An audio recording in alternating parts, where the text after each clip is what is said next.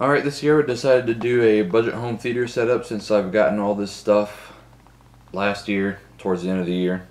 And uh, just wanted to show off what I got. It's pretty good for the price I spent, considering what I went through to get everything. But uh, take off the tripod and show everything individually. Alright, um, got some light in here so it's a little better to see. Um, the TV, I'm going to start off with the first. It's a Panasonic Viera Plasma. It's a 1080p 600 field or 600 hertz subfield drive, as all of them are. Um, it's a little older. It was manufactured in 2010. I'm not exactly sure the model number. I think it's TC P50S2. I think that sounds right.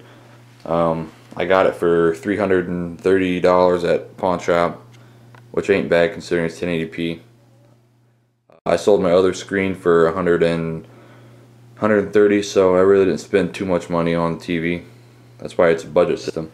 Um, the surround sound system is also a budget system bought off of a guy from Craigslist for $175 it's an Onkyo 6.1 1000 watt each channel 130 watts. Here's the receiver number got the right channel the left channel even came with the stands for free plus a shitload of wire.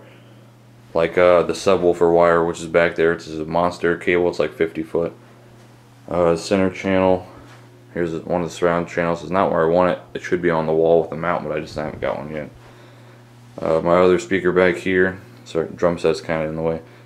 Uh, I'll probably do a drum set tour after I get some more cymbals and whatnot. Um, then the 6.1 back here 6 channel I'm looking to upgrade to a 7.2 channel, uh, a Nokia, or not a Nokia, an Onkyo uh, NR626 I believe it is. But uh, it does the job. It's it's good for in here. I mean, this is a small room. It's not big by any means. Um, down here, got my 360 Slim and uh, just a cheap Magnavox Blu-ray player, but has internet connectivity, so it's not too bad. Uh, let's see. Front channels have two four and a half inch woofers and a tweeter. They are 130 watts a channel. That's what they're rated at. Center channel has two four inch woofers, I believe. I think that sounds right. Either four or three and a half. Um, Band of Brothers, that's what I'm watching right now. Sorry about that, the phone was ringing. Um, anyways, like I said, if you haven't seen Band of Brothers, you should definitely check it out on YouTube or uh, pick it up if you have the money for it. It's uh, like an 11 part series. I got it for uh, $25. It's based in uh, World War II. Uh, it's a damn good show if you like uh, war stuff. Um, see, the subs over here.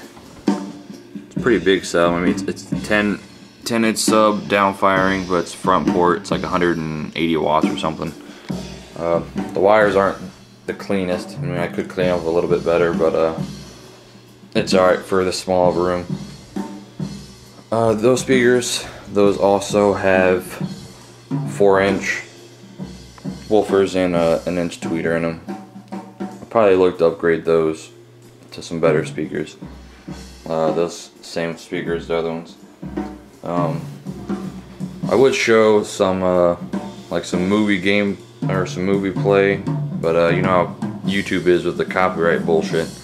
You can't play anything, otherwise you'll get copyright claims, and I can't deal with that. So um, yeah, it's pretty much it.